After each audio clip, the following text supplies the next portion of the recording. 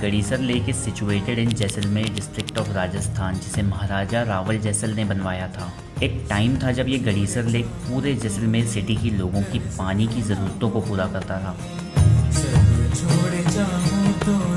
Gadisar lake Jaisalmer fort से 1.5 kilometre की दूरी पर है। अगर आप जैसलमेर आ रहे हैं तो ये आपकी बकेट लिस्ट में डेफिनेटली होना चाहिए।